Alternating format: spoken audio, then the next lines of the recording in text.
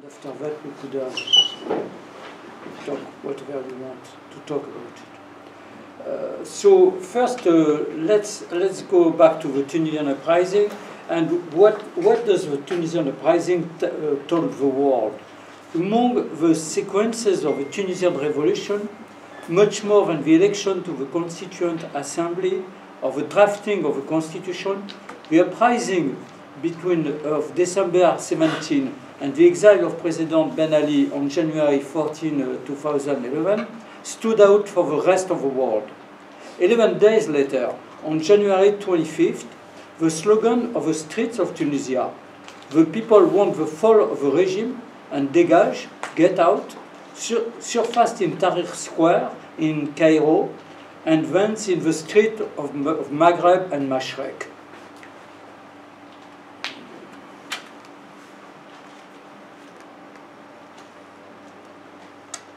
On the other side of the seas, the occupation of places, like that of La Casbah in Tunis on January 23rd, prompted a renewal of the repertoires of mode d'action from May 15 with indignad, indignados at the Puerta del Sol in Madrid and on September 17 at Zuccotti Park in New York with Occupy Wall Street.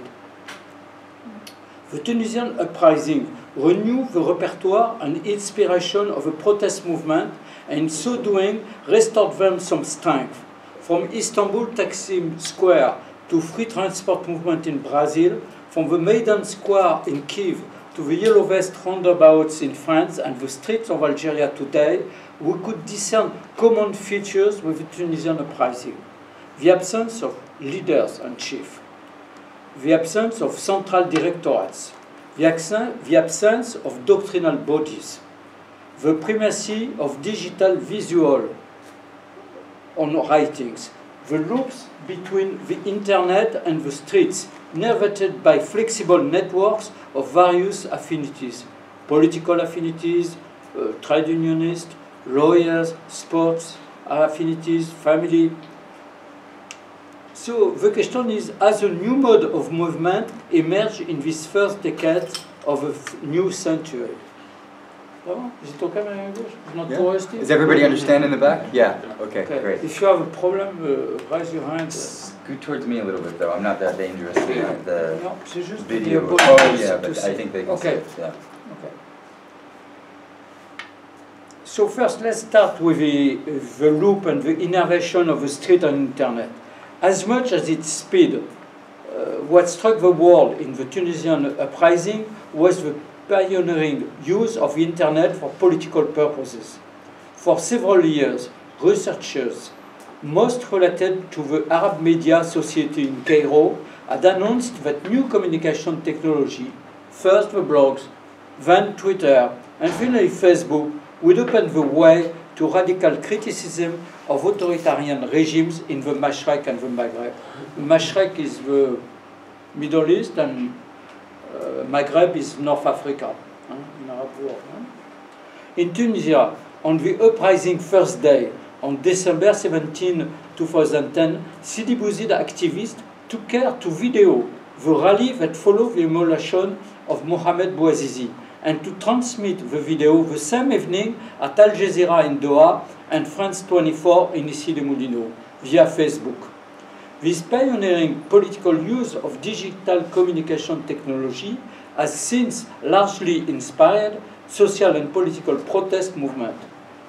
To what extent has this diversion of digital technology facilitated a mode of movement without spokespeople and without leaders is still an object of debate. Of debate.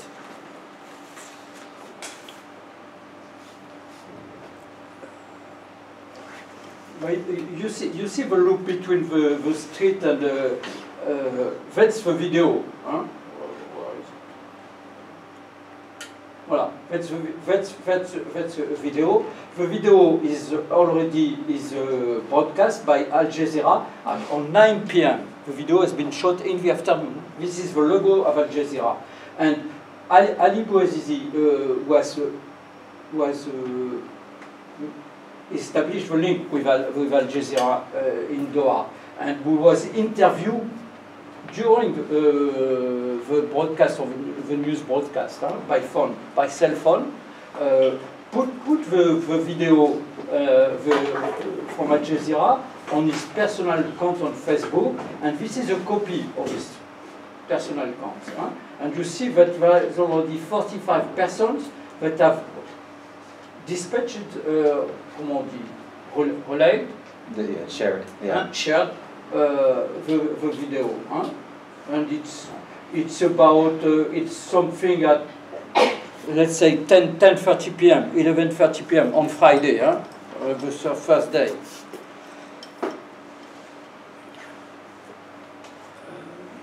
So, uh, another fact of subordinates empowerment is also to be found in the uses of the internet. From the start, videos have supplanted blogs and conversation on the internet, on mm. the use of the internet, the political uses of internet. However, since the 18th century, the history of revolution has highlighted the role of written corpus, leaflet, newspaper, books, so the actors of the Tunisian uprising were pioneers by the primacy that they granted to the images, and more particularly to the video. In doing so, they also broke with the code of professional in photojournalism since the, the civil uh, war in Spain in the 30s, and television, mostly since the Vietnam uh, years. huh? To use Lina Khatib's words, there were images of the uprising, by the uprising, and for the uprising. And you see, this, this is a this is a, capture again of Al Jazeera two days later on December 9, uh, 19th, and you see uh, now Ali Bouazizi was a transmitted video and is uh, one of the leaders of the rally in, in Sidi Bouzid. Is, now they have got his picture and he's talking.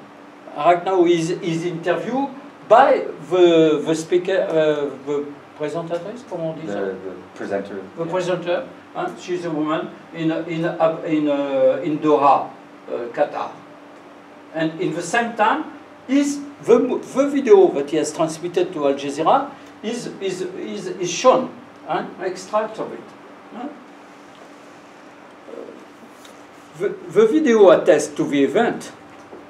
That's why Al Jazeera is using it, of course, huh? the importance of event. But it's not the truth of the event. Already in 19, so uh, now we are to go, to, going to talk a little about researchers and uh, the, the problem uh, for researchers of this kind of things, this new kind of movement. The video attests to the event, but it's not the truth of the event. Already in 1922, the journalist Walter Lippmann warned against the force of images. Photographs today have on the imagination the type of authority that yesterday had the printed word and the day before uh, yesterday speech. They seem to be totally real.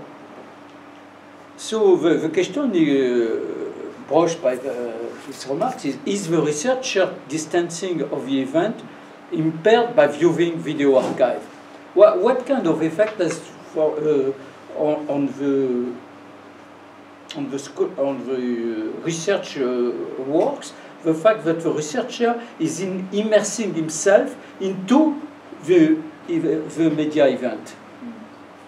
Uh, Today, uh, so that's a, a quotation from Yadh Ben Achour. Yadh Ben Achour is a Tunisian lawyer, and he has been uh, very influential uh, for the transition between the uprising and the Constituent Assembly. He's today working with the UN uh, uh, Human Rights uh, Corps in Geneva. Today, thanks to modern technology, we have the opportunity to relive, to relive, relive, Relive. to relive the sins of the past, view them directly, immerse ourselves in them. I believe the, the term important here is immerse, huh? and take note of them, as if on the spot. Therefore, for Yadh Ben Achour, and a revolution must be judged, judged according to his own scenography, as close as possible to staging, through the hearing and visualization of its so- sometimes very short period of uh, gushing, possibly, of uh, conflagration or something? conf- conflagration, yeah, it's better. So, so let, let's think about it. Uh, could we say that the originality of a digital crisis will be to open the door to the reproducibility of experiencing a media event, and more specifically, more specifically, the circulation of images that constituted the media event? By but by viewing it, does the researcher become a spectator of the event media, immersed in the uh, uh, me- media event and losing its distan- distanciation?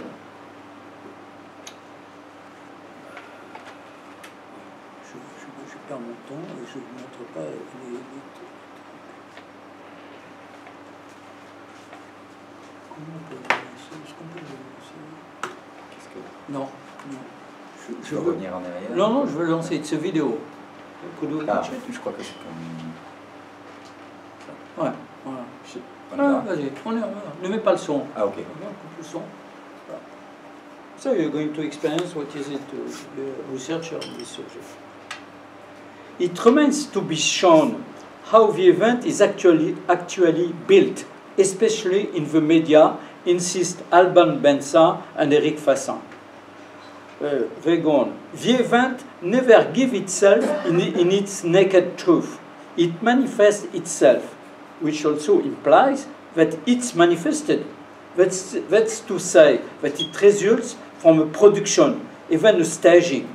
It doesn't exist outside of its construction. For example, in the Sidi Bouzid event, the researcher could approach the intention of those who shoot and edited the first video that was broadcasted the same night of the immolation of Mohamed Bouazizi.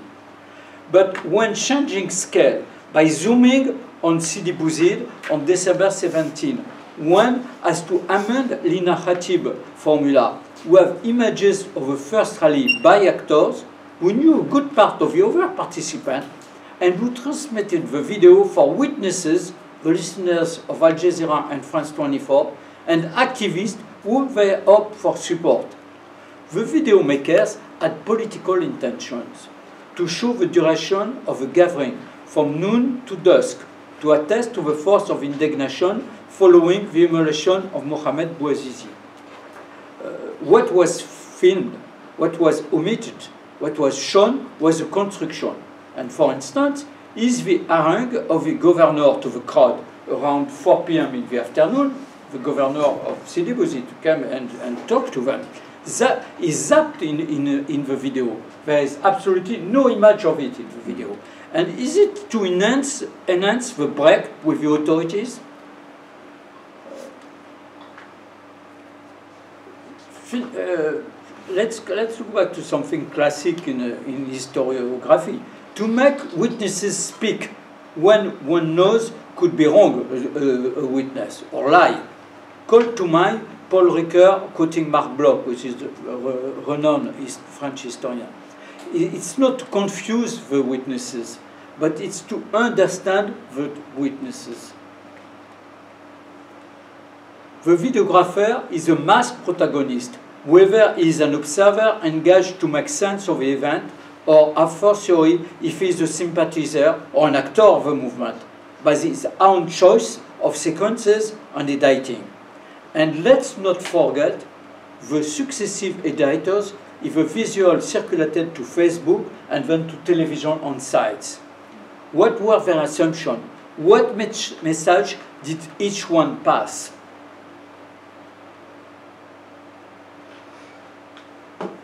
Uh, uh, uh, in this kind of event, uh, what is very important, now we're going to broach another, another uh, subject, uh, theme, is the question of intelligibility of what's happening.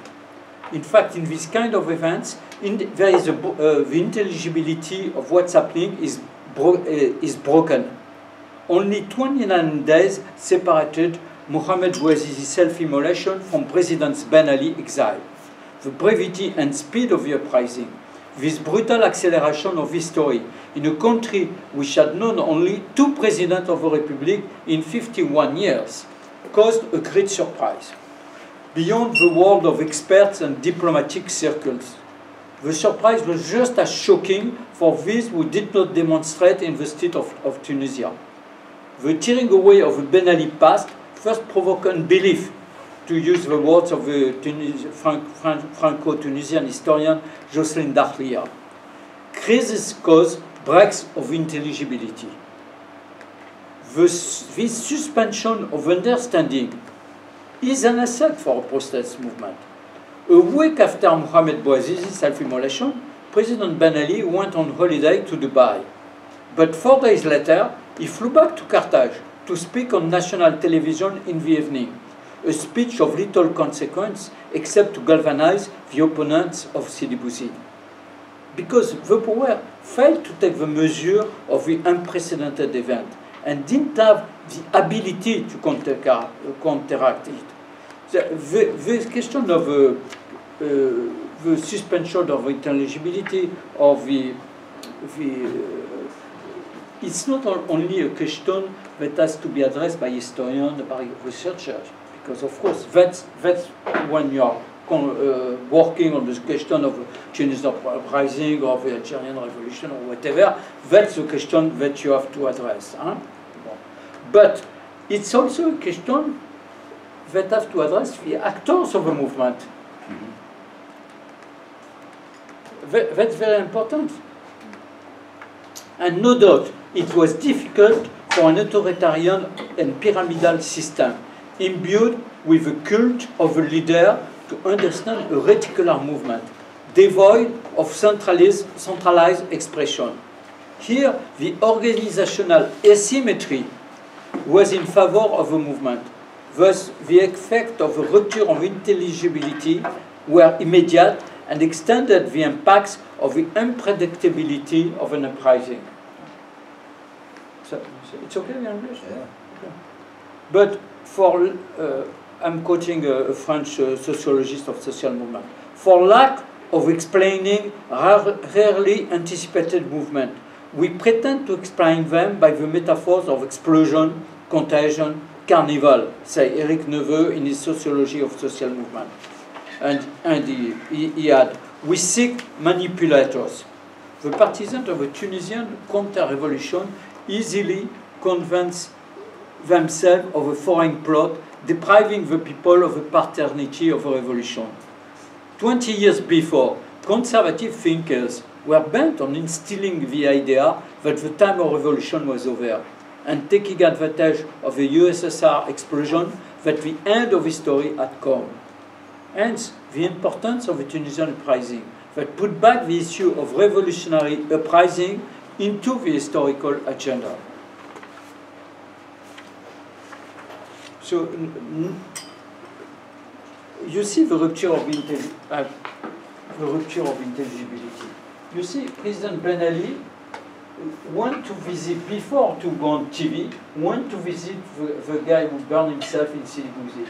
And this image is terrible because the president is talking with people and the guy is completely, of course, unable to talk. And it was very shocking for people on the, for the Tunisian spectators. Who, all of a sudden, they go there, they open the TV news, and they see something like it. And after that, they got they got Ben Ali talking. You know. Alors, uh, about the Tunisian uprising and the Yellow Vest roundabouts, there is a lot of shared features. However, the, the distance time, almost 10 years, uh, the, the socio-economic gap between Tunisia and France. Uh, let's go back to the uh, let's go back to what what we uh, how we characterize the Tunisian uprising. Absence of chief and spokesperson and doctrinal purpose. Is it the case with the Yellow Vest movement? The response is yes. The primacy of digital visuals. The response is yes. The loops between the streets and the internet. The response is yes flexible networks of various affinities? Yes. So you can see beyond the disparities, the social disparities, the time disparity, whatever, basically we have the same characteristic. And we're, we're going to go very fast to it. Uh, the primacy of digital visual. look at this picture. This is the Champs-Élysées. Already, you see all the decoration for Christmas, for the holiday, for Christmas holidays on the trees, and that's what you get on TV. That's what you get. It's these images are very much the kind of image that the TV networks need. Well, and they got the image. So they got the image, they broadcast the image. And of course, it's the same thing when in Sidi Bouzid. When you broadcast this kind of image, a lot of people watch it, and quite a few people say, sure, I should have been there. Let's go to the street next time. Huh? Uh, in Sidi Bouzid, I have uh, testimony of, of, uh, of people, from, of leaders from Sidi Bouzid who say that the fact that the, the rally was broadcasted on Al Jazeera the same day in the evening, but a lot of people in Sidi Bouzid learned about it. And they say, gosh, but we are very important. They talk of us in, in, in Al Jazeera, in France 24, and so on. And so the next day, it's one of the reasons why more people put to into the street.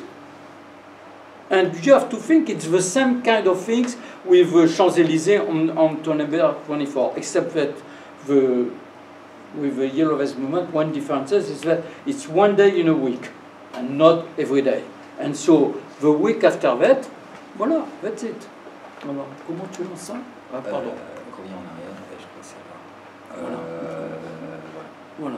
Je clique. Oui, vas-y. Ok. Il faut ou pas Là, c'est l'arc de triomphe. It's uh, de- uh, December 1. On peut mettre l'audio ici. Euh, l'autre là, je crois. Ah non, il n'y a pas d'audio. Ah, Si, c'est il y a peut-être l'audio. le, le câble. Oui, bon, c'est pas grave. Ok. Oui, il y a de l'audio, mais c'est pas grave. Enfin, vous, you see, it's, it's, uh, you're on top of, of the Arc de Triomphe. And you have to imagine, I mean, the TV crew were uh, down on the Champs-Élysées and they were Uh, uh, uh, filming the guy on top of the Arc de Triomphe. And of course, the image went all over the world. Yeah. Okay? And if the image went all over the world, if they talk about it in New York and in Moscow and Beijing, of course there is most, most more people the, week after in the street.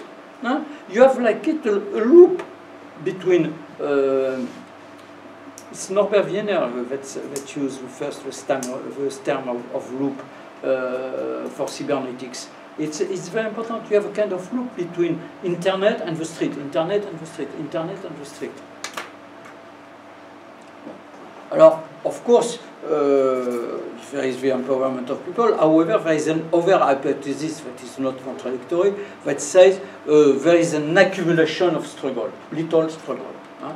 Khaled Aouainia, who is a lawyer in Sidi Bouzid, say Mohamed Bouazizi burned himself and set the country on fire. Lofty Hadji, who is, uh, I mean, you can read it, huh? uh, he say uh, why, why uprising in Tunisia, it's an accumulation.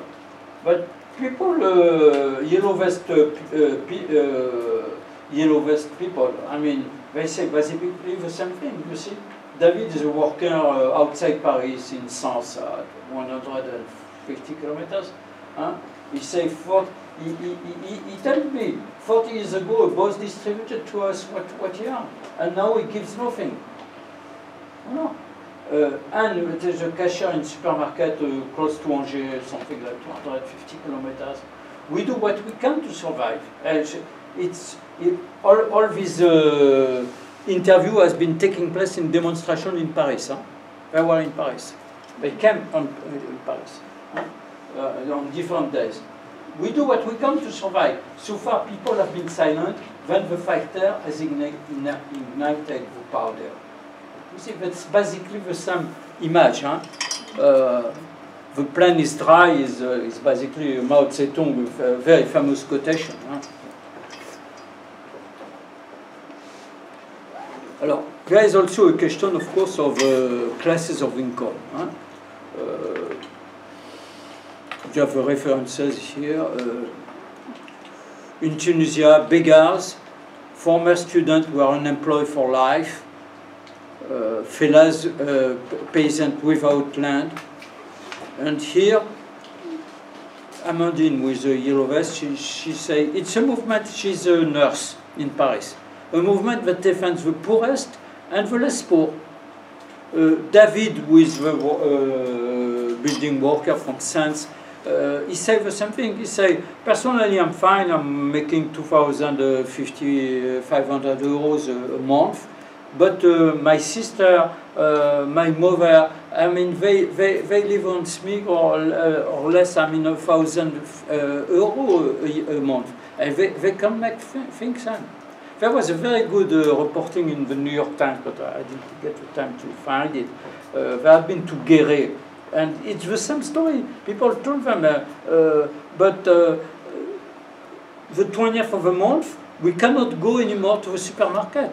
I mean, so people are using uh, potatoes or uh, a few frozen things in, in, their, in their things, and it's the same story uh, everywhere. Huh? when they say they no longer have to eat, that's what they say. And you see, uh, there is a, a, rupture of intelligibility. So it has been, you know, the, the yellow vest people, they had uh, graffitis on, on their yellow vest jacket. So it's one of them, and it's a very good. It's a very good. You say, say you, you you're talking. Of course, it's Macron, the government, the president. You're talking about millions and billions, and we're talking about 10 or 100 euro. Very usually about 1,000 euro. You see, it's it's it's two two separate worlds. I mean, he expressed that it's two separate worlds, and the numbers doesn't make sense for the other side. Uh, so of course, uh, there was a lot of references to the revolution in France, uh, the, the, revolution of 1789. Huh? Uh, the revolution that François Furet say has no more potential uh, historical potential in France. Huh? You have to remember this for a distinguished historian uh, from Chicago University. c'est Macron, hein, of course. I mean, you understand that uh, the guy is, uh, is hanged, the, it's, it's, it's, it's, supposed to be Macron. Hein, voilà. It's a, it's a yellow vest campment uh, uh, in Normandy. Alors, there is a question of, there is a legitimacy contest in this movement.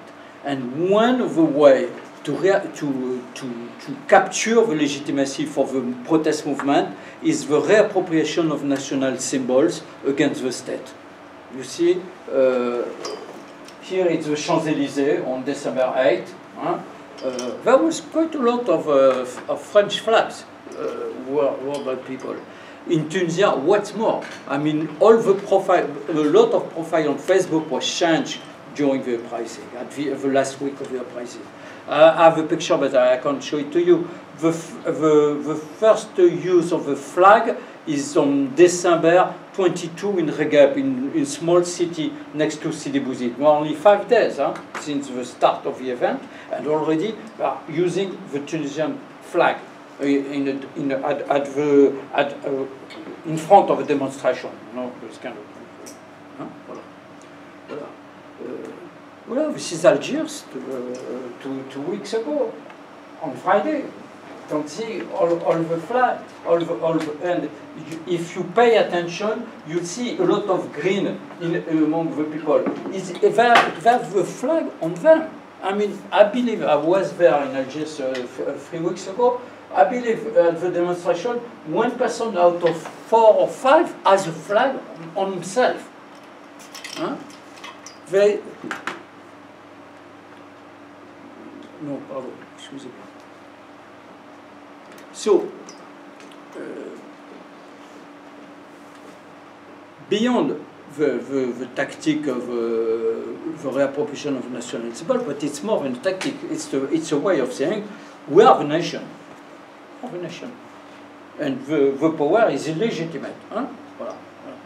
Uh, it's, it's rooted in, in, in what, what we call uh, I believe we should go back to Thompson and the moral economy, uh, what he called the, the, moral economy, which is voilà, voilà. You have a, a, citation of the citation of Thompson that I'm interested in. It's, it's possible to detect in almost every 18th century production some legitimizing notion. You see the importance of legitimacy. Huh? by the notion of legitimation. I mean that the men and women in the crowd in the crowd were informed by the belief that they were defending traditional rights or customs, and in general that they were supported by the wider consensus of the community. On occasion, this popular consensus was endorsed by some measure of license afforded by the authorities. More commonly, the consensus was so strong that it overrides motive of fear and deference. You see, voila, the, moral, economy has basically to say, to avoir aujourd'hui, as to do today with uh, dignity. Karama, they say in Arab, in Tunisia. Huh? Uh, in French, the, the yellow vest, they, they use very much the, the, the word normal. Yeah, what is normal and what is un, un, uh, um, not normal, um, abnormal, you will say? Abnormal, yeah. abnormal, voilà. Hein? Abnormal. Hein? As, and you see, it's normal that people who work, uh, is it normal that people who work cannot feed themselves, ask David? No. It's normal that if you're working, you should be able to eat till the end of the month correctly. Huh? Uh, and saying the same thing. When working, we should be able to live with dignity. And it's not the case. Voilà. Huh? Voilà. So I believe the, this notion of, we have to import this notion of moral economy to understand what's happening in this kind of movement today and to connect it with the question of legitimacy. Huh? Alors, of course, there is differences between, uh, we're going through to stop, between Tunisian uprising and the Yellow Vest movement. Uh, the loop between the street and internet is reversed by the Yellow Vest movement. In Sidi Bouzid, the, the emergence of the movement was spontaneous. I mean, it, it, was not decided in advance that on December 17 there will order rally. Huh? Mohamed Bouazizi burned himself around noon, and one hour later, a protest rally uh, start, start in front of the governorate and, and is going to last till dusk. Huh? To, to, to, show that the rally were not pleased. Huh? We are very, uh, and it was broadcasted at 9 p.m. what we said. The Yellow Vest movement was organized well in advance in the internet.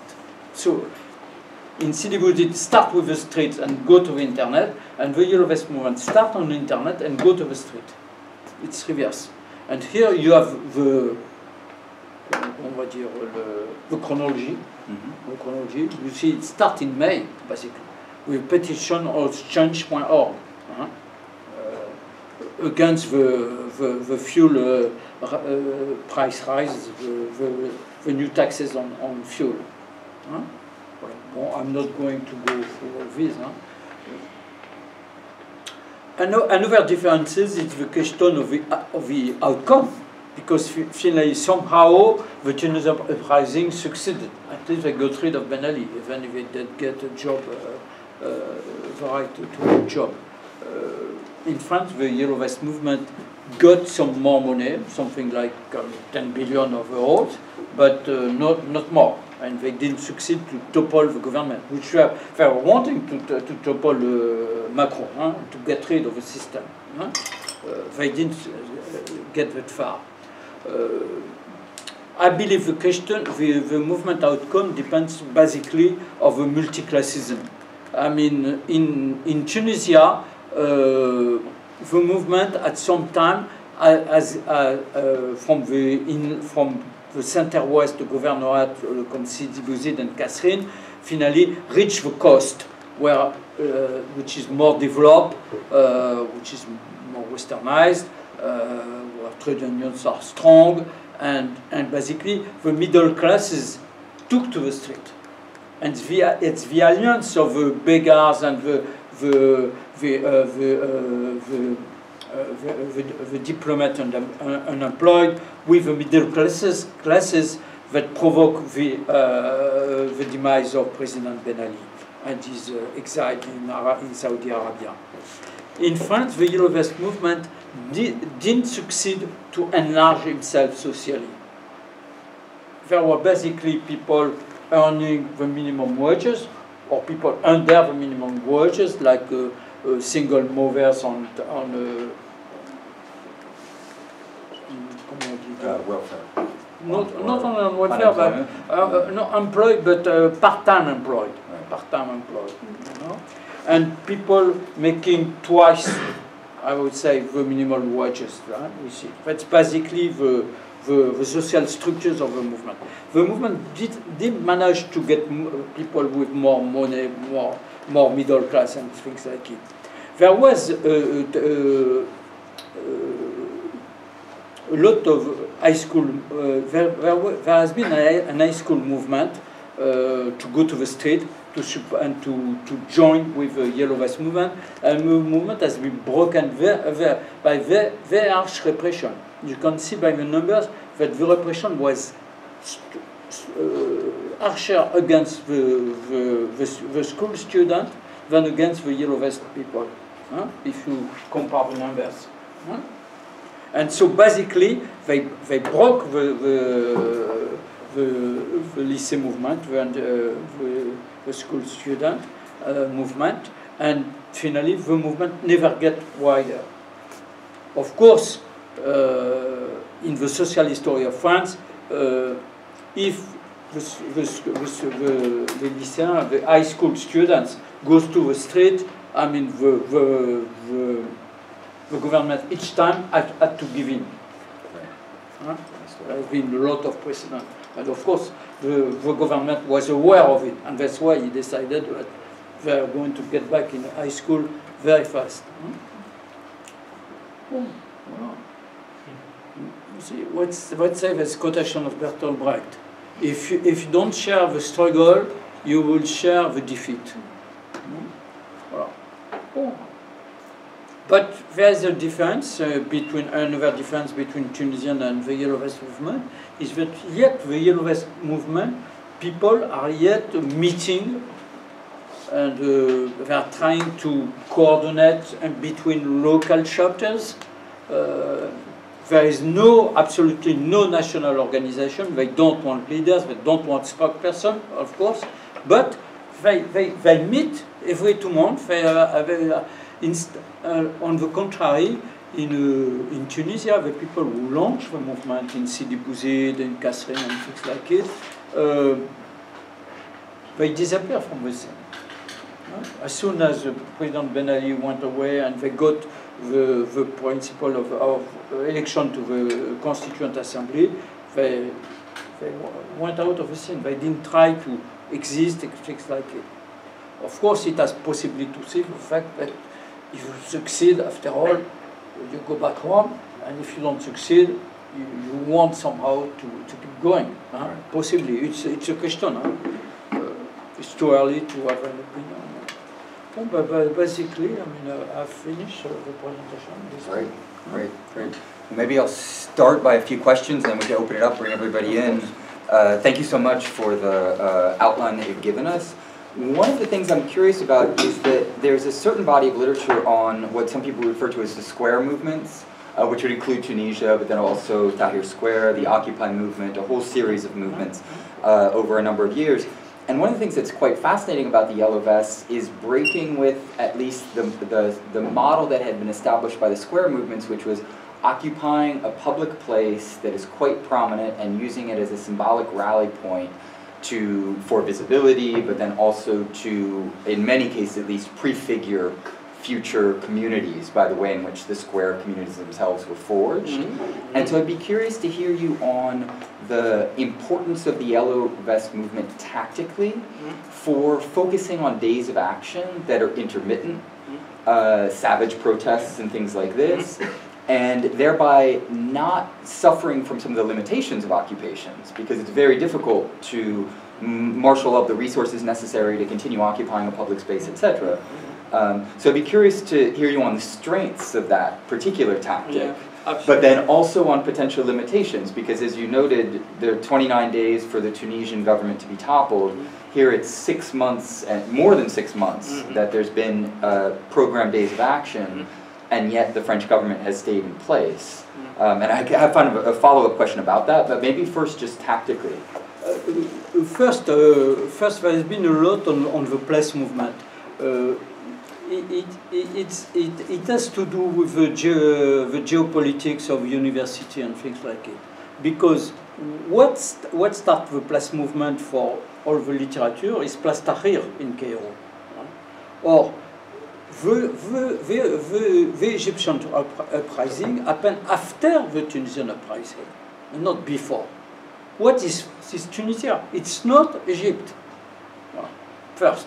Second, in, in, in Tunisia, the, the movement was a question of public space, of course, because the first things they do on Friday 17, uh, December 17, is to go in the street in front of the governorate where Mohamed Bouazizi has burned himself. Voilà. Huh? And, and they start a, an assembly. Mm-hmm. They, they talk for hours. Huh? Voilà. Bon. But after that, the movement went basically to fight in the street. Voilà. To fight in the street. It's only after that Ben Ali flew to this on January 14th, there has been a, an interim government, I would say, leftovers from Ben Ali. Uh, well, we'll get back to this later if you want. I mean, because question, I have not broached the question of internal contradiction within the system, which is, uh, of course, an important part of the story, but in 45 minutes I can't, cannot do everything. Uh, so, there, there was an interim government with a lot of former minister, ministers from Ben Ali. And basically, the people from Sidi, the young people from Sidi, from Menzel Bouzayan, which is close uh, to Sidi Bouzid, and Regeb, and Sidi Bouzid, and Kasserine, they, they, went, they came to Tunis and they occupied the place in front of the prime minister government to ask, ask them to get rid of all these people, all, all these leftovers of ministers. And the first occupation of place is in Tunis. It's not in Cairo. I give you the dates. Huh? That's important. In Tunis is January 23rd, and Cairo is January 25th. And second, uh, let's not forget that the bloggers, because the cyber, cyber dissident has played a part in Tunisia, of course, because of internet, huh? uh, like in, uh, most of our countries, internet play an important role. Uh, the, the, the, bloggers in, Tunis were linked to the cyber uh, uh, to cyber activists in Tunis. They had links with cyber activists in, in Cairo. They had uh, com common seminars in 2009, 2008, in Cairo, in Casablanca, in Beirut, uh, with the help of uh, American money.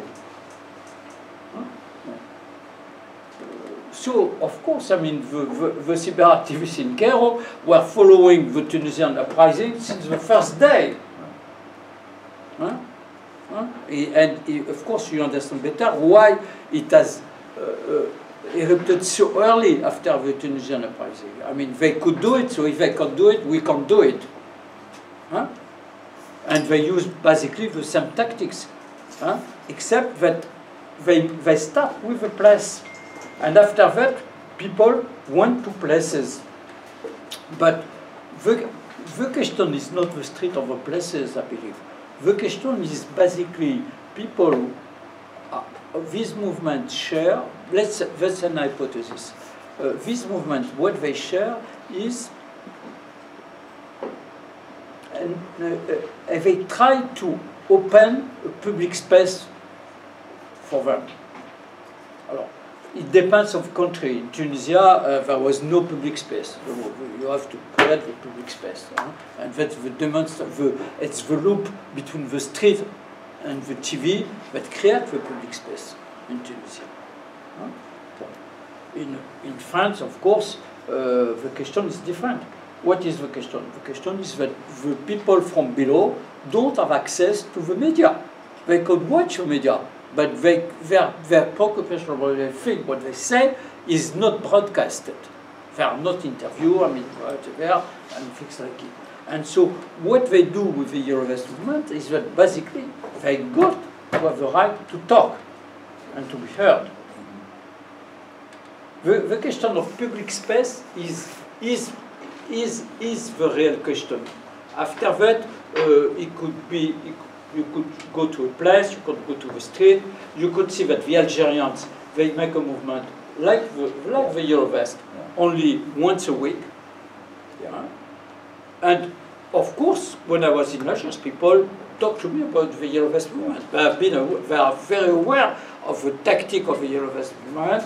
Even in Algiers, they say first, first Friday, second Friday, but they say also act first, first act like in France, second act, third act. The, they, use the, the same word at times. Huh? Uh, because, of course, they were watching it and, and possibly the idea to, to go to the street once a week was, was important by it. Because I believe the question of if you go to the street every day or if you go to the street once in a while, it's, it's also a question of the strength of the apparatus in front of you. I mean, if you go to the street every day, uh, of course it means it's a huge commitment and basically you hope that you're going to succeed fast. At least you would have su- some success fast. Uh, if you believe that it's going to be difficult, you, you can think that it's, it's better to keep strength and uh, uh, to don't uh, exhaust yourself too fast and to be ready to go to the street uh, regularly, which means to make a living. And we are talking about people who don't have a lot of money.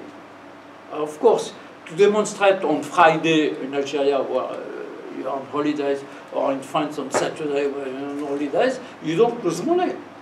And it's important for these people to not lose money. It's also Economic. euh, euh, une question importante. Yeah. Uh, but I believe uh, the, the main question is the question of public space. It takes different form how you, you manage to to, to, to, to fabricate your own public space.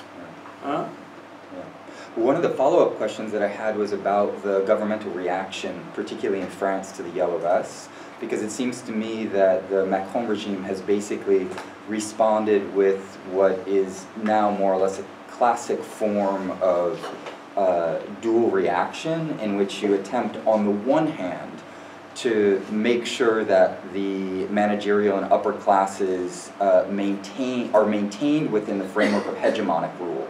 So the liberal response of Le Grand Débat and the kind of liberal pageantry of Macron being open to the people, wanting to hear from the people, etc. So him assembling, for instance, a whole series of you know upper middle class people in order to hear from them and filtering out the voice of the people. Uh, but staging that precisely in order to regain legitimacy, at least in the eyes of certain people, um, those who can be recuperated within that. But that that is coupled with, and I know you've done a lot of work on this, so I want to hear more about it, an absolutely brutal authoritarian repression of the masses. Mm-hmm. And it strikes me that that dual strategy on the part of the Macron regime really reveals as well how a lot of modern liberal states function, and that is hegemonic rule is reserved for all of those who are either in the middle or upper middle classes or who can re- recuperate it ideologically. But authoritarian repression is, is reserved for anyone who actually acts out in such a way that they call into question the functioning of that system. And so I'd love to hear you about the- specificity of how that's been happening in France, but then also the ways that that has uh, potentially allowed the Macron regime to get away with, with quite a bit, actually, in maintaining itself in power. I, I- I would say uh, you, you have to think about it in sequences. Uh, First, the movement, the, the, uh, the president was aware of the movement before uh, the start of the movement because of all- all what's happening on the internet. Right. Uh, you got videos that have been watched by millions of people. So of course, uh, sometimes somewhere someone said, "Watch out! Something is uh, is going to happen." Okay. Uh, so when the movement started on November 17, basically uh, are surprised by the, the scope of the movement. There is seven, 750 uh, roundabouts occupied by Yellow people. Uh, these people are unorganized. They are people never seen. Uh, no, they are not organized by trade unions, by parties. I mean, that's, so that, it's a huge surprise. I mean, there was something like, from the numbers of the Ministry of Interior, 350,000 people in the streets in France, uh, occupying roundabouts and, and, and, demonstrating.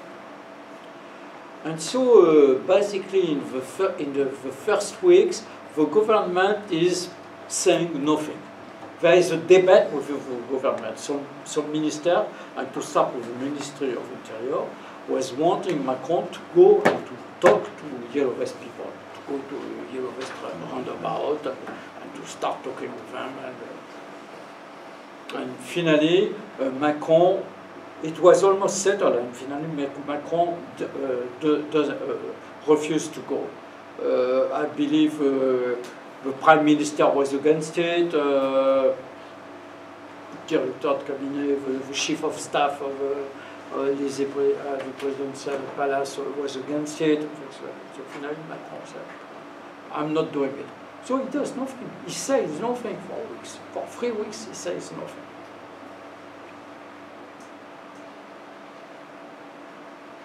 He plays business as usual. He's, uh, he's in, uh, in Berlin the second day of uh, the second Saturday of demonstration. In Buenos Aires, the third Saturday of demonstration. No? He says nothing. Well, and finally, uh, basically, the repression start to be very, very hard because they are frightened. No, no, I mean, these people are on the Champs-Élysées. I mean, the, the Élysée Palace is only 500 meters from the Champs-Élysées, you know? And the next uh, Saturday, they are on the Arc de Triomphe, you know? And people start to burn uh, des hôtels particuliers. How, how do you say? Uh, uh, an hotel particulier. it's, it's very French. Yeah, it's very French. Uh, it's like a mansion in, in the city. city yeah. Okay? Uh, so people, people with a lot of money start to be frightened. You know what I mean? I mean, they're, they're, they're burning. I mean, they were inside and things like this. Okay? So the repression starts to be very brutal. The repression starts to be very brutal. They use uh, a, a, a, lot of rubber ba bullets. Uh, finally they get free rein to the, to the police to, to get rid of these people. And in the same time, they understand that uh, it's, it's complicated, don't say anything, because, uh, you know, could, uh, uh, there is question within the ruling classes. Where the people with a lot of money, uh, why they are doing nothing, why it's happening all the day, and why the president does not say a and, and what is he doing in Buenos Aires and Madrid when uh, they start burning our mansions. I mean, come on. And so finally, they decided to give some money to them just before Christmas. Well, it's a, it's a lot of money. It's a lot of money. It's 10 billion of euros. It's 10 uh, billion of dollars. Yeah, yeah, yeah, yeah, It's 10 billion of dollars. It's not little money by French standard. I mean, the trade unions have been unable to get this amount of money since, uh, nobody knows, May 68. No? That's money. Alors, of course, it's not enough for people who cannot make it to the end of the month. But in time of austerity, like we have uh, since 20 years or 30 years in Europe, that's a lot of money. So he give money and he think uh, Christmas arriving and we're going to go back home and uh, goodbye, and it's over. And it's not over in January, people start to pour again to the street. Alors, but there is less people. There is less people. There is going to be less and less people. At this moment, Macron has won. His problem is that there is a European election in May, and I believe this idea of a grand débat is a way of uh, to mend the fences with the voters to get, he doesn't need to have a majority. He wants to keep his bases, which is basically 25% uh, of the vote.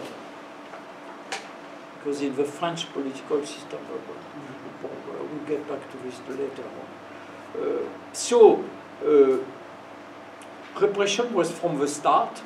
At some time, he think that he has to give something to, so the, the movement uh, lose strength, but hopefully everybody got wrong. It took longer than it even wanted, but basically, uh, he got what he wanted. What he wanted. Huh? How much of that do you think is, and this is the last question, and I definitely want to open it up, but I was I really like the way in which you frame the yellow vests in terms of what I would just refer to as class warfare, Mhm. meaning that it's the legitimacy of the nation state and its relationship either to the people, does it belong to the people, or does it belong to the elite ruling class? Mm. And that that is really the central division.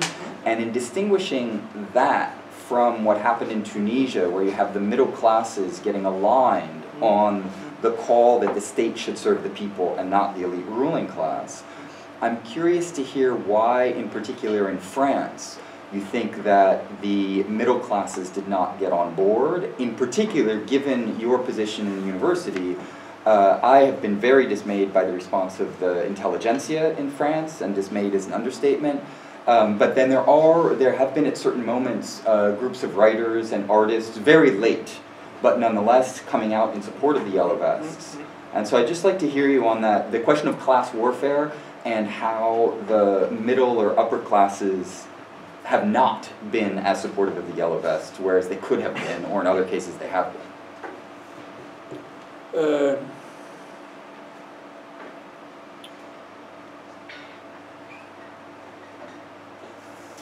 it's, it, it, it, the, question, uh, this question is very important question and it, it brought up se several uh, uh, topics that we have to, to, to, to talk now. First, uh, if you, when you get in, a, in this kind of movement where and especially this movement where there is no leaders, no, no doctrine. Let's not forget about this, huh, of this movement. Uh, if you get a new social class coming into the movement, the agenda of the movement change. Because the movement in Tunisia was first a movement for the right uh, to work. It was a movement uh, against the marginalization of, uh, of the peripheral regions of the center-west, where uh, let's not forget about when people out of free was in poverty, in the statistically, in the, in the statistical poverty, you know, uh, way of calculation, I'm sure most of us, of you are familiar with it. No? Uh, so when the movement got, got to Tunis, when the middle class came, the movement get more political. You don't hear anymore the, the, the slogans uh, uh, you, uh, the, to, for the right to work. Now it's dégage. Huh? Get, get out. Let's get rid of the system. Huh? Voilà. And, and it's a classic in, in movement, not only leaderless movement, but even in, in movement organized. Huh? If a new social group come into the movement, well, the agenda change. Less or more change. Right. But there are also there are also cases, right, where Yeah, let, let's, let's go further now. In France, basically, uh, the, the middle class doesn't come to support the movement. Among the intelligentsia, uh, the first, the first of November, there was very, very little people, people who, who, daring to say, I'm going to demonstrate with them. Alors, why? because you have uh, you, you get the all left uh, framework that is a problem for you because in this movement it's a spontaneous movement you got everybody you got everybody and in France one voter out of four vote for the far right and of course you're going to have people from the far right in the movement the movement is not organized by a trade union, by a party. It's, um, uh, it's, uh, it's organized on, on internet. anybody who is against the fuel taxes come to the movement. And so you get people from the far right, and people from far left, and people from the middle left, and from the middle right, and, and, and, and also a lot of people who are very far away from politics. They consider politics uh, it's not for them. They are abstentionist. No? The question of the far right was a problem. Mm -hmm. Was a problem, of course. Uh, was a problem, and people say we cannot go to the street with the far right. Point. And of course, among the people with a French flag, there is people from far right, mm -hmm. of course. But it's a mistake to think that it's only people from the far right with the, with the national flag, because you have seen the use of the flag. You, you can have uh, picture of Maidan Square at Kiev. I mean, it's everywhere. I mean, the question of le legitimacy of the nation, we are the nation. Mm -hmm. uh, so, uh, uh, of course, people, the middle class could have gone to, to the street without uh, the, the, the call of mobilization by their organization, of their leaders, or their whatever. They didn't do it. They didn't do it. Uh, uh, it's it's difficult to have an explanation of it right, right now. Is, uh, the question has not been. Uh,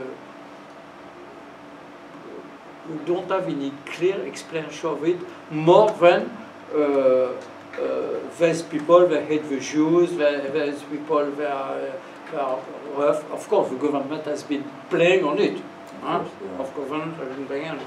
But you could have the opposite, the opposite point of view, which was my point of view, and not only mine, but uh,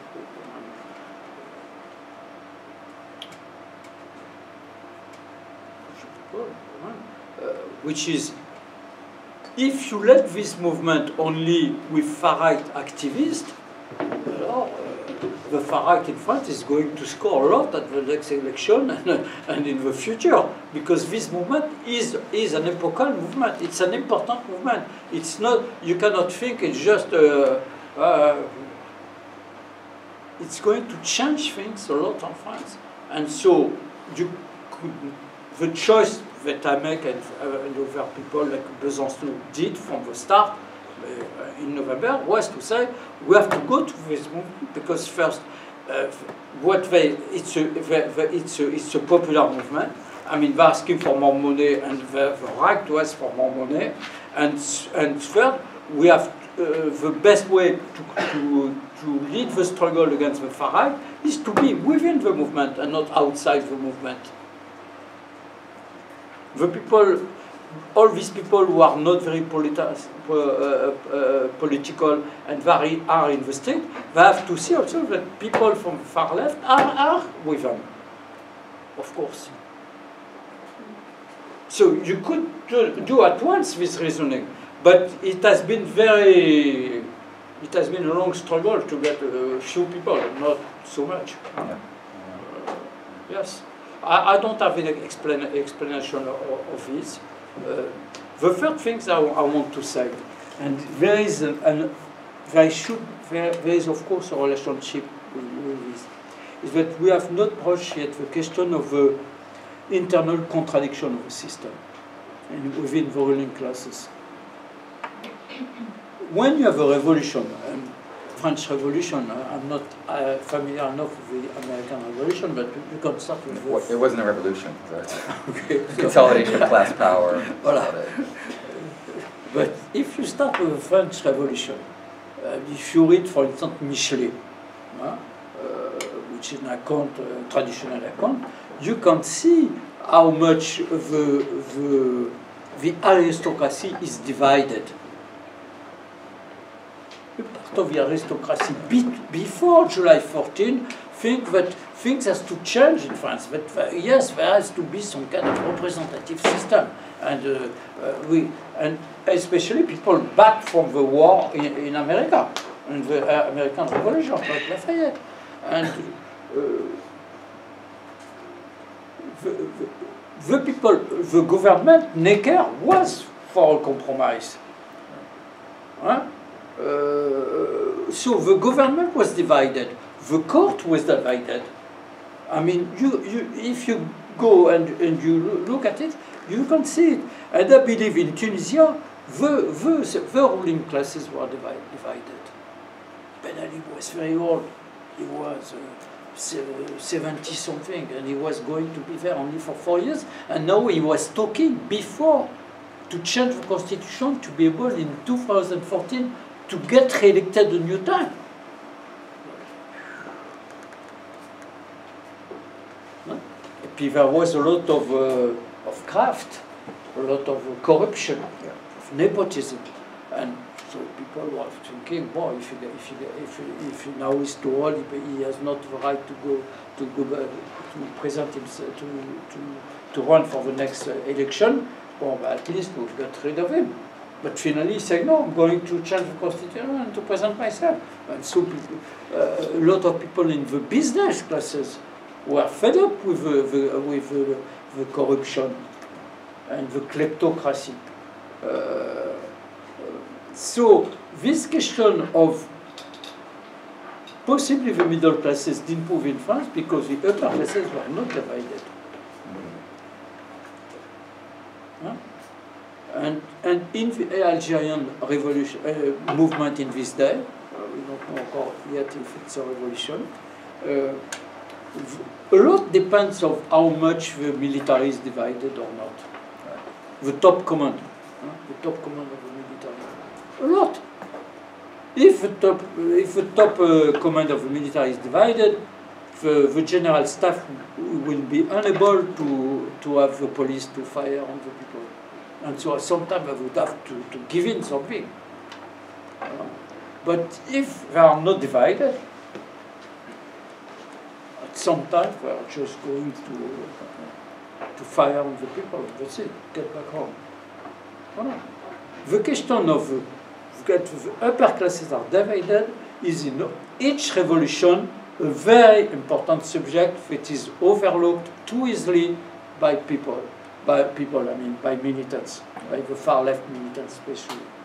Well, there's, there's the study by Theda Skocpol. I don't know if that's what you have in mind, but she did a study of the major social revolutions of the last 200 years and made the argument that those that tend to succeed are those in which there's divisions within the elite hmm. right? Which is precisely the argument you're making. I think it's a quintessentially important argument.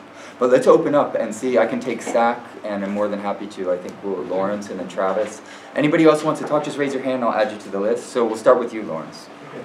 Uh, yeah. Thank you so much. Um, I had a question about the symbolics or the symbolic because you were also talking about the flags, uh, and um, among many among the many contestable remarks that Alain Badiou made on this on the Yellow Vest movement, I think one is quite in, interesting or, or um, conspicuous remark to say that um, whereas in 68, in the tradition of 68, there was always the red flag as the somehow emancipatory symbol, which was precisely, which marked the distance from La République, from the national symbols.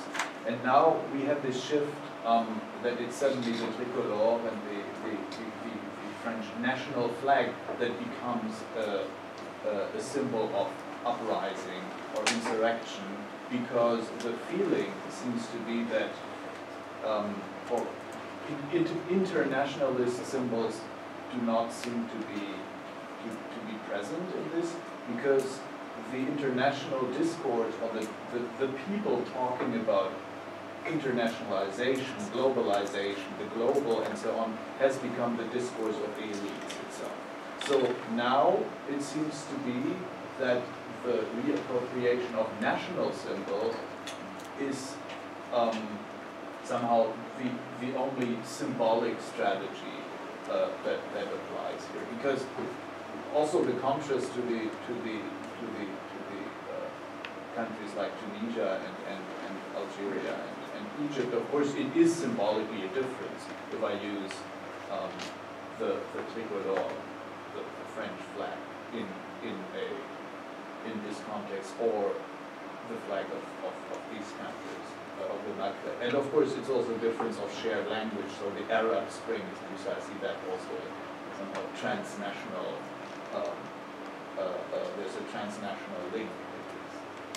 How, how do you, how do you think, do you think that that is a valid observation, that protest movements somehow de-internationalize or have become de-internationalized?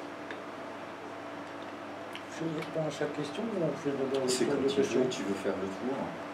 Peut-être c'est mieux. Yeah, let's do, maybe we'll take a handful of be- to be questions sure and then we can to lump them together. to- to- So I, I think we have three more and then we can do another cluster, time permitting. Travis, I think? Yes, I would love to hear your thoughts on um, a very specific reading of the Tunisian Revolution, which is that it was successful, whereas Egypt was not in some regard, precisely because the people forced a transition through a constituent uh, assembly. That that constituent assembly allowed for a certain transition uh, from popular revolt or movement of the squares into something on a larger scale. The question, I think, is very important for us precisely because Tunisia lacked the military that Egypt had, which was funded by uh, the United States. And because of that military, the Egyptian revolution uh, first would not have been successful had the military not eventually sided with um, the people because they had the means uh, to stop them. And secondly, there was no constituent revolution. There was no constituent assembly that reformed uh, the constitution in Egypt in a similar way as Tunisia because of the role of the military. And the reason I'm asking this question is not academic, but for our time, namely, if it means that in countries like France or the United States, it is impossible to form such a transition from a movement of the squares into such an assembly, then where do we go? And what I'm seeing in the US, in New York, is on the one hand, a movement into alternative community, the idea that it's not possible anymore to imagine a meaningful confrontation that forms a revolution given the military that we have. Or two, why don't we try something like reformist position like the Democratic Socialists of America? So I would love to hear your thoughts. I think it hinges on what you're saying in in Tunisia and Egypt and then Algeria. The question of, as you say, the difference of the military, or difference within the aristocracy that makes such a transition uh, possible. Maybe though you disagree with that reading of uh, Tunisia entirely. So I would like to hear what you think. Did you have, I, I saw your hand, yeah, okay. Um, My name is Amy. Um, I have a question about uh, rupture of intelligibility, uh, that you mentioned both in your presentation today and in the propos that we read for this class, uh, this session. Because um, I was, I'm thinking, I'm, I'm trying to think about what this term makes possible and what this term obscures. Um, because to return to Paola's presentation from yesterday, she was asking, inviting us to think about what the thing that we think with leaves unthought. So I'm trying to think about what this concept, the rupture of intelligibility, leaves unthought.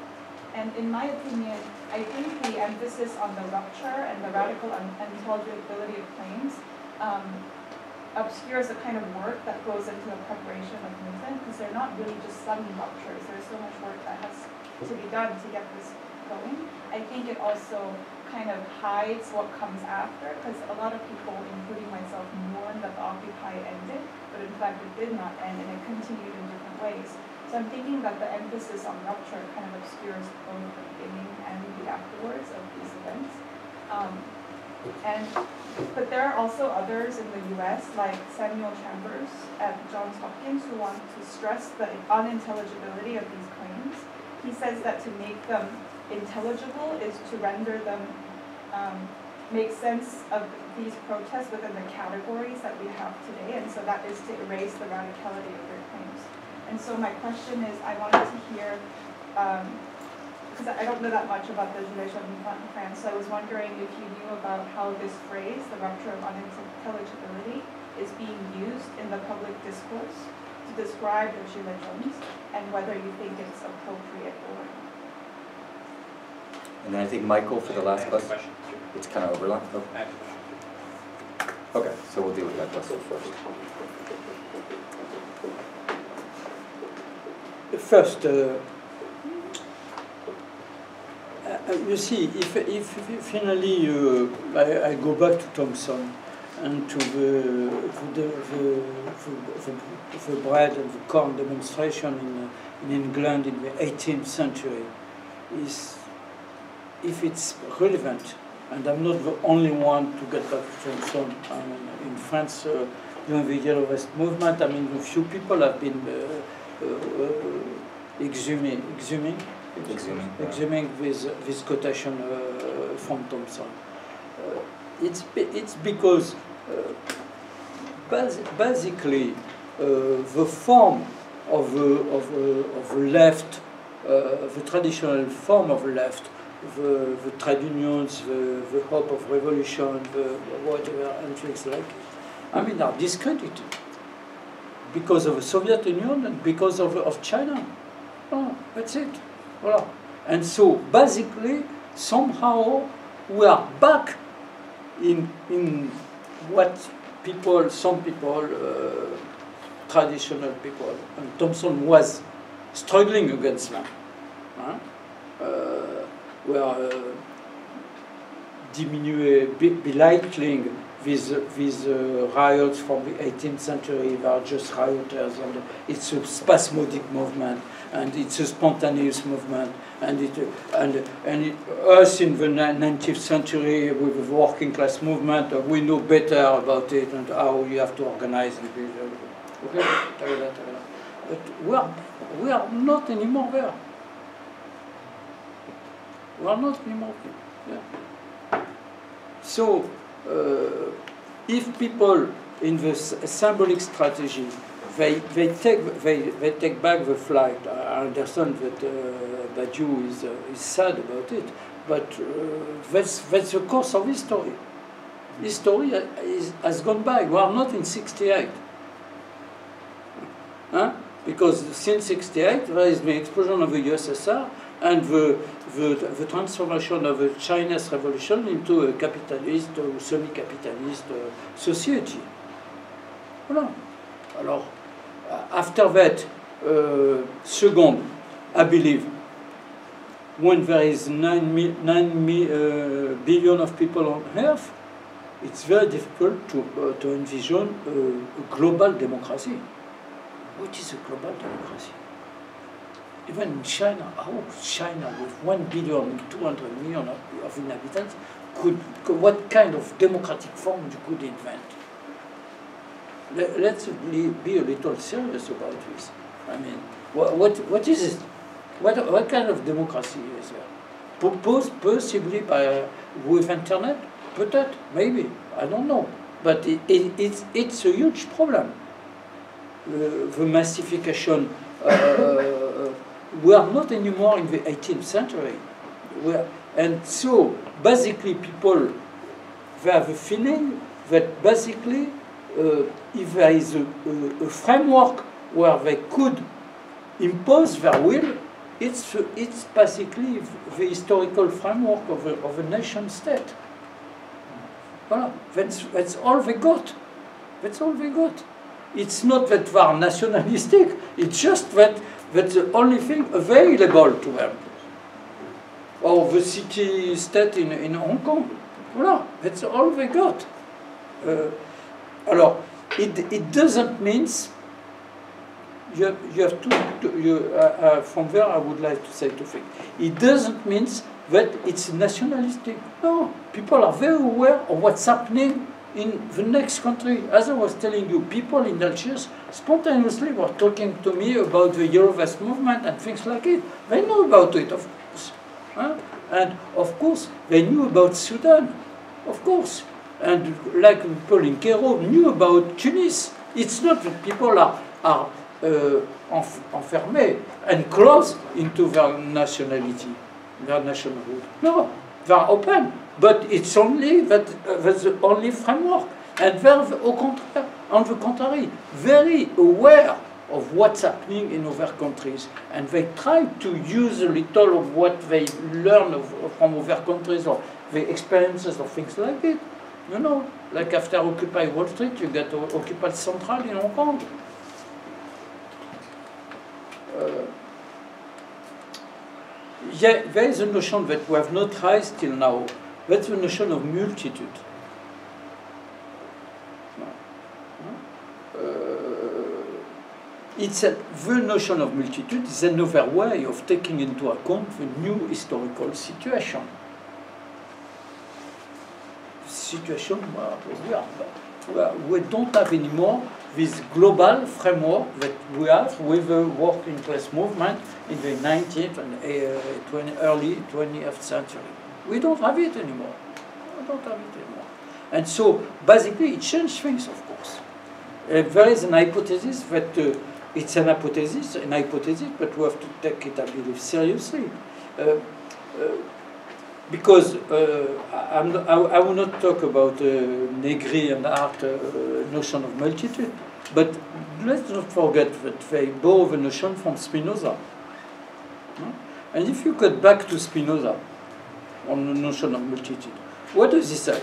He say basically there is a contract between the people and the and the king, the sovereign, an implicit contract. It doesn't have to be an explicit contract. Uh, apart in England, there was no constitution nowhere. Uh, there is an implicit contract. And basically, when the implicit contract is broken, people, they go to the street. The multitude arrive. The multitude took, took, take the, to the street. And the sovereign, somehow, as if the multitude win, the, the sovereign has to give in. Uh, but it's not over the story. The story is over. The story is over. And let it's it's a serious hypothesis for research. The, Tunisian people? Took to the street. The young people from Sidi Bouzid, from Kasserine, things like it, they took to the street. And finally, because also because they are unorganized, and they don't want to be organized, they are not in a situation uh, to, to negotiate with, with, uh, with a system. Okay? And they're not in a, in a situation to, to, to, to, to have a constituent assembly themselves. Other people are going to do it. That's what I was telling you. The people of the middle class, the, uh, the people who have been struggling from in little opposition group uh, against Ben Ali, be Islamist or not Islamist, but they, they, they were already talking to each other, the Islamists and not Islamists, since uh, 2005. Huh? Well, they, they take care of it.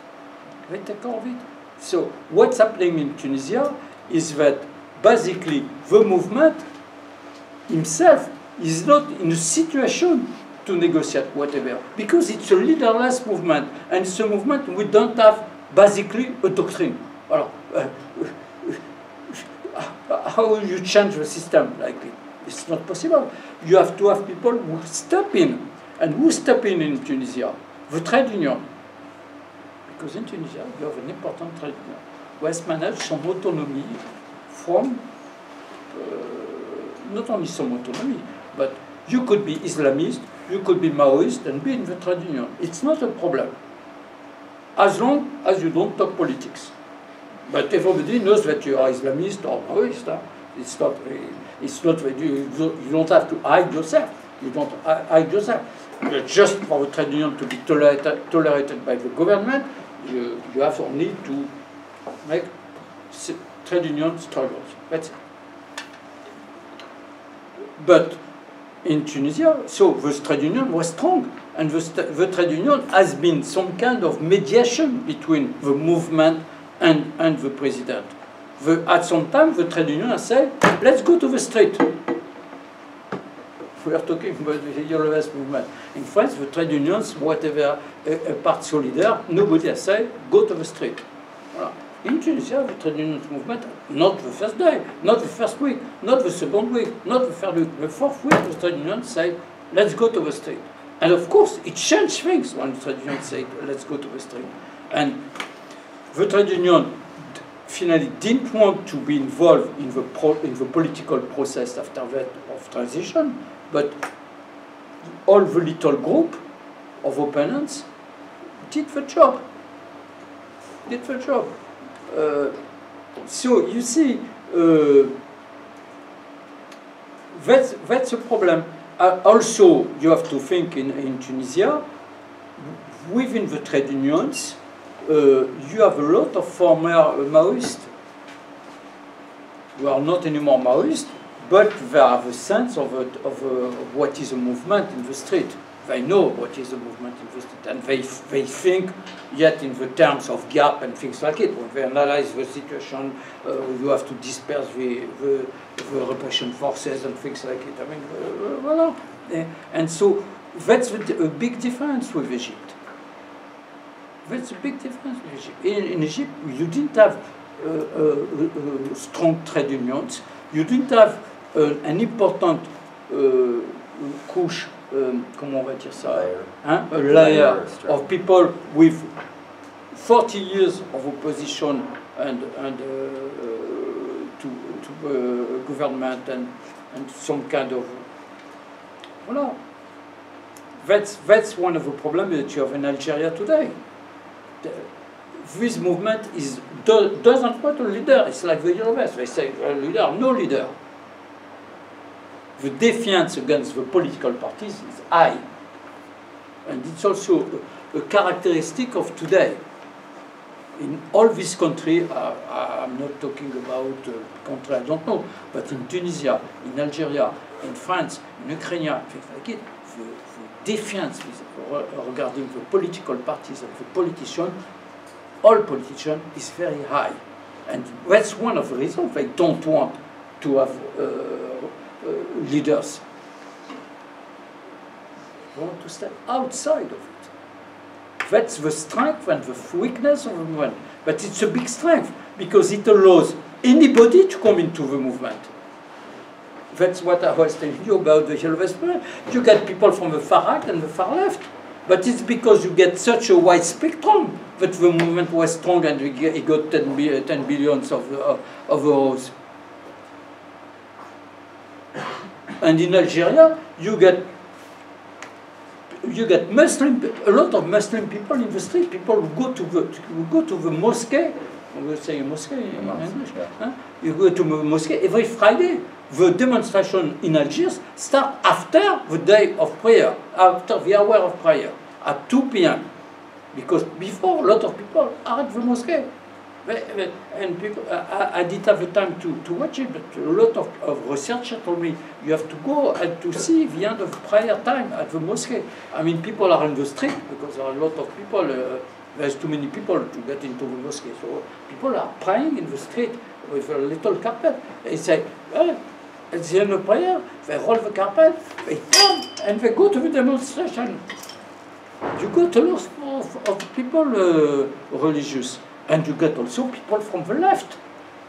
Huh? You get all, all the people who are divided during the civil war in Algeria, I mean, they are today, in, a lot of them are today in the street, and together. And they know that they, they don't share the same ideology. Like in France, the people from the far left and the far right, they know that uh, they know when, when they are in a roundabout, after I've been talking a little bit, uh, they know each other who think what. But it's not a problem because what we have, we have a common objective. And in, in Algeria is that the system has to change. All these people, we have to get rid of these people and basically yes, more an agreement, uh, we have, a, have to have some kind of democra democracy system, uh, representative system, even if people are distrustful of a politician and of political parties. And so, uh, this question, you see, you have to, to take into, into uh, of course, uh, this kind of leaderless movement, it's a strength and a weakness.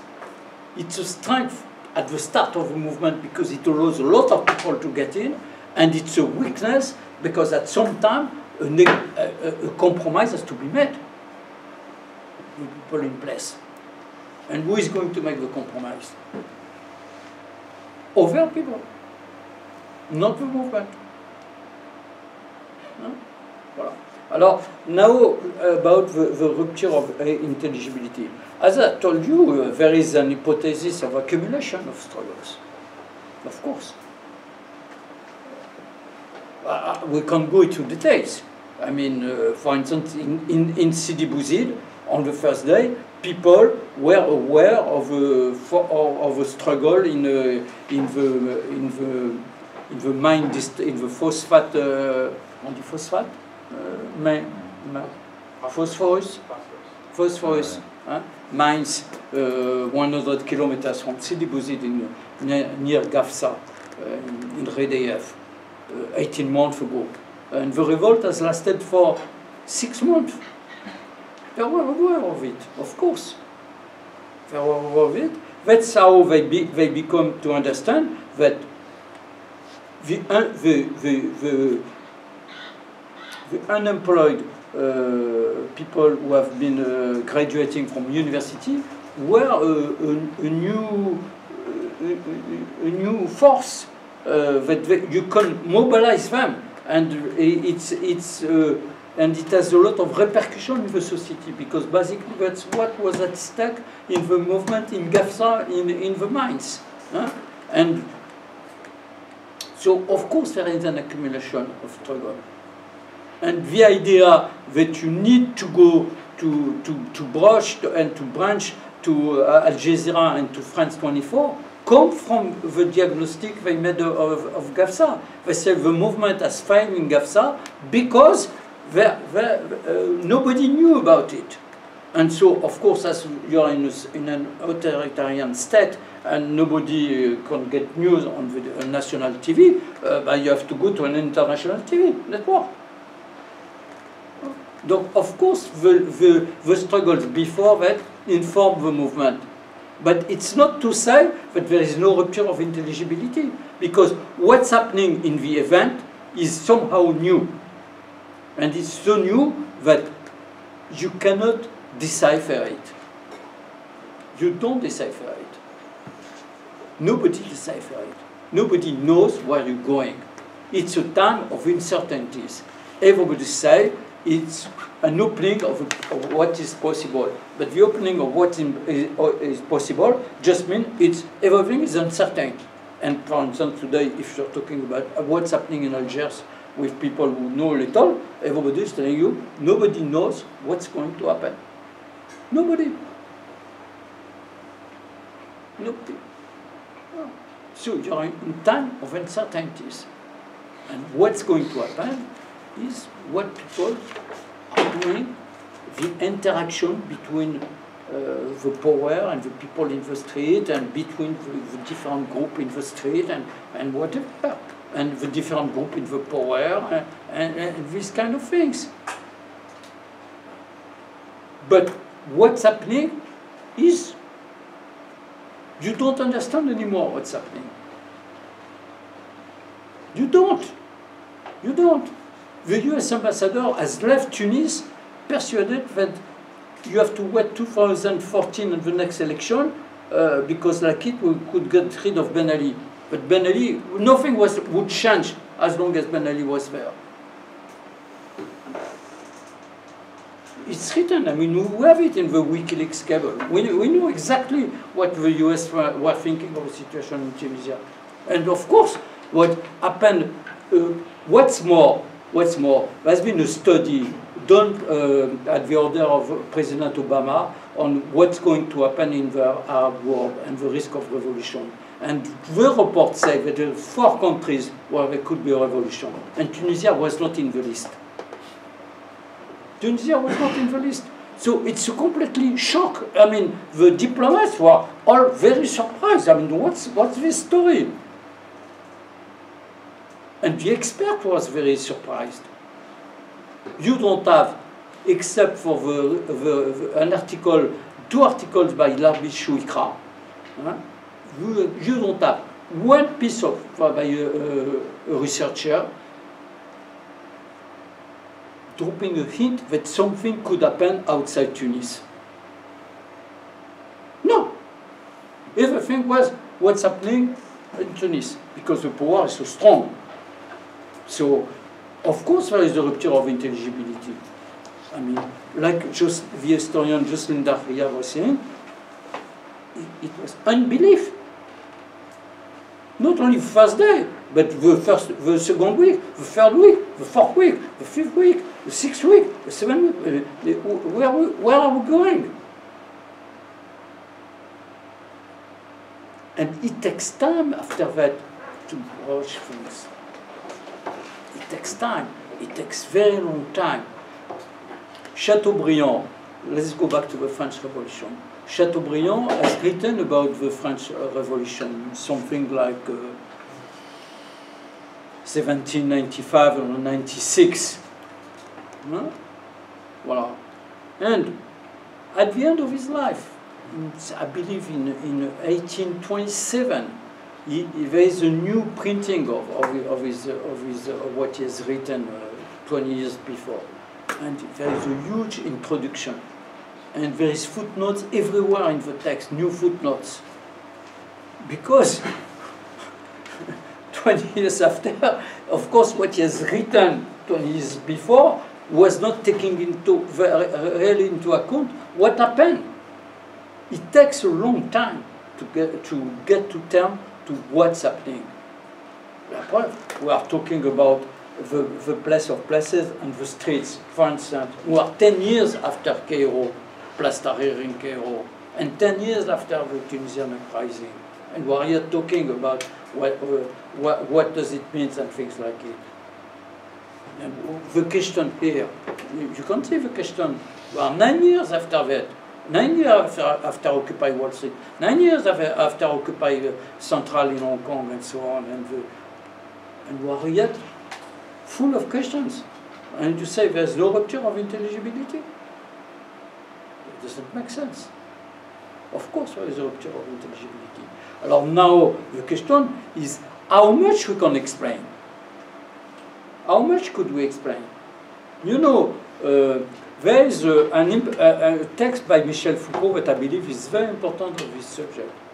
Uh, Michel Foucault is, a, is, is, use, is very useful because first he was in Tunisia in 68 and he was friend with the people who revolted in 68, all these people who turning Maoist, I was telling you. Huh? He was not in France at this time. Uh, and 10 years after, during the Iranian Revolution, uh, Foucault went, went to, to Iran. And, and he, said, but who can explain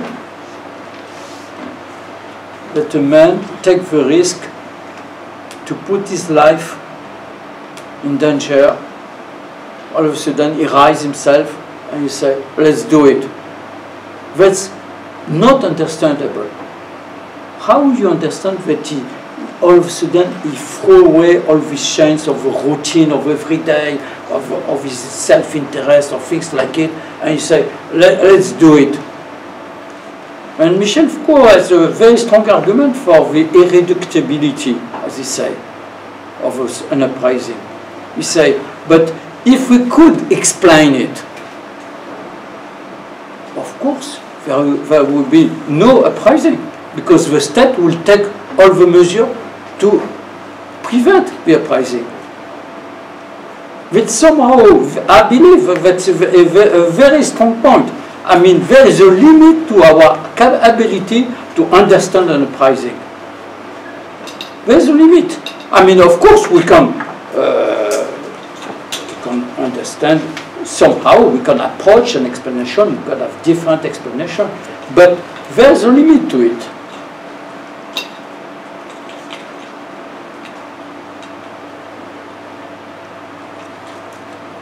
A, we do have to uh, respect the time limit today and be out of the room by 7, but if there's a final question or two, then we can squeeze it in. Uh, otherwise, we can wrap up. Alejo, is that a question or is that a gesture of? Okay. Well, I guess you have the final word unless somebody else jumps in real quick. Go ahead. Nobody else wants to No, we had a question about this last point, um, the question of intelligibility. Course, you know, we're always surprised to come late to events, and that's why they're events of some. But um, I think there's there's maybe also the I mean, certainly you're providing kind of explanation that has political effects, right? Um, and that that in itself is a valuable form of political intervention, right? Of providing a kind of sort of explanation that can account for certain, you know, as you call the record of political struggle and the effects that that produces, right, on organizers. So this is kind of feedback loop that you're also talking about, right? The, in the same way that images produce feedback loops, these kind of explanations also produce feedback loops, even though something's always left out. And so in relation to that, I wanted to sort of ask about the, the broader tendency. So you describe, um, you know, these sort of leaderless movements in the past 20 years or so, which we can trace even to this sort of Zapatismo in the 90s, uh, Argentina 2001 as well. I mean, there's a longer trajectory to mark out, right, from this kind of kind of history moment. Um, if you think there's that that can be sort of explained uh, precisely, and what are the political effects of that uh, in relation to the recurring crisis of capital, right? So some people, like for instance Joshua Clover, uh, tries to think about sort of age of riots in relation to the kind of exhaustion of a certain kind of politics that's related to a specific moment in history of capitalism, which has to do with the ways in which there's a growing sort of relative surplus population that stays unable to, in a way, uh, meet the demands of you know certain kind of struggles and so therefore there's a kind of exhaustion of um, also the apprehension of these movements, right? And so there's a kind of ever recurring uh, crisis. So we're no longer in the moment of the New Deal of capitalism, right? We're no longer in the moment of. So I guess my question is if, if, there, if there's a tendency that you see uh, that can help us sort of understand uh, not only the sort of square movements, but even before, um, and that has to do with capitalist crisis as a whole, uh, global capitalist crisis.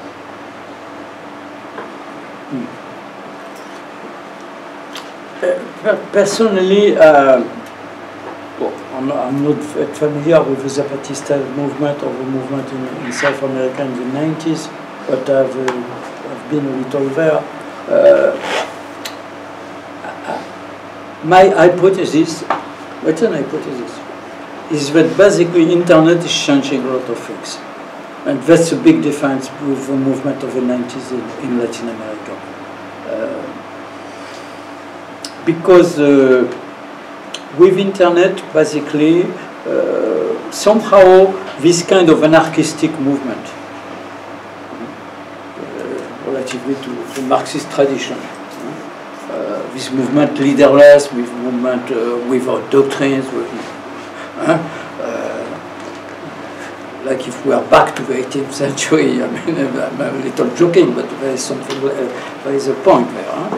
Uh, I believe internet is has been very important in the fact that it, it has given the ability, till now, till now, it has given the ability for people to connect, to, to inform themselves, to, even if, of course, uh, the apparatus of state. It's, it's, it's a political, it's an arena, the internet. It's not uh, only a place to communicate with, with, your friends. Of course, the secret police is in, in internet, is trying to track you down, is uh, posing to yourself, masquerading as people from the movement, and uh, all these things, of course. Huh? But it's somehow, it's a public space. Or this movement had a problem to get public space. That's, that's a common characteristic of this movement. One of the problems of today is the control of, of, of, of, of public space and the exclusion of public space. Well, that's, I believe, it's, it's an important point.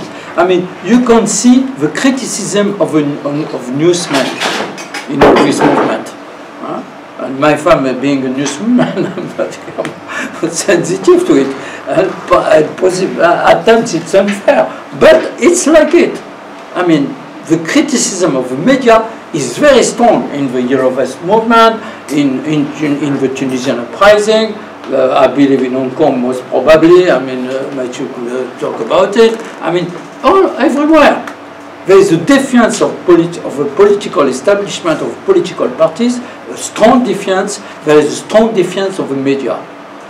Because people believe that the, the game is, is, is, is truqué, un peu. Hein? Voilà. It's yeah. Huh? It's rigged. It's rigged. I mean, this idea of it, it's rigged is very present. And so internet changed a lot of things. Uh, for how long? I don't know. I don't know, because the internet is changing a lot and uh, Facebook is turning into a kind of empire. I mean, with his own court of justice, with, uh, uh, with his own money. I mean, that's, that's very important uh, transformation huh, of the internet. So let's not be naive about it. But for the time being, it's, it's, it, it, it changed a lot of things for the protest movement. And uh, I believe that's why we have to differentiate that. Alors, the exhaustion of capitalism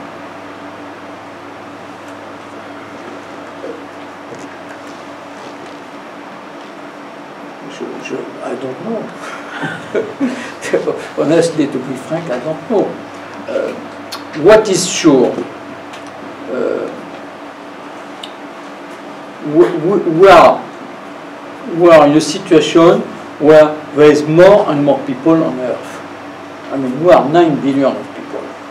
I mean, the ecology of a system could support that amount of people uh, if they want every, everyone to have air conditioning, a car, and fly uh, zone, and things like it.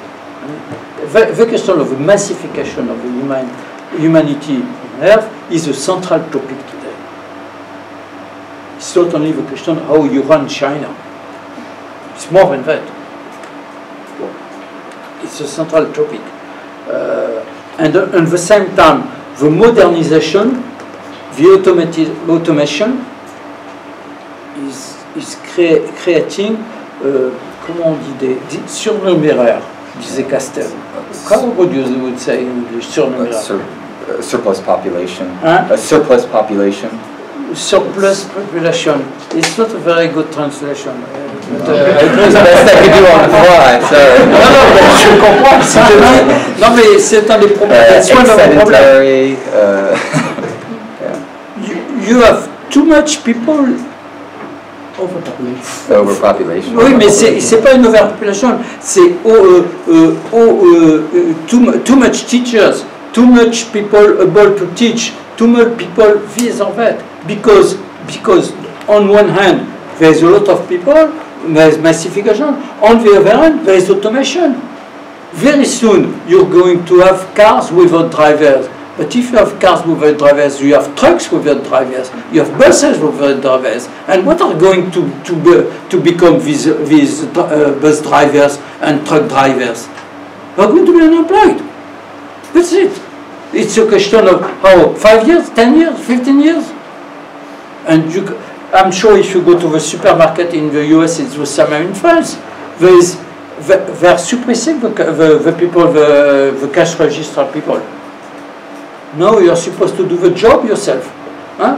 Huh? Huh? More and more. And what are going to turn? I mean, uh, this, this woman was talking, uh, I forget, I forget her name before. Uh, I mean, was saying, I, I, I, I don't have enough money to live at the end of the month. But how Anne, as she's working in the supermarket, what she's doing tomorrow, she's 40, when she be 50, what she'll be doing, how she be living. You see, le, le problem is not exhaustion of capitalism, is that capitalism is working less and more for less and less people.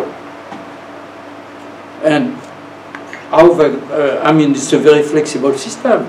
So, you know, there's people who say we're going to dole out everybody, there's going to be some kind of universal revenue, uh, even Tony agrees for it. Bon, d'accord, uh, that's a possibility. That's also a possibility that they do not go this way.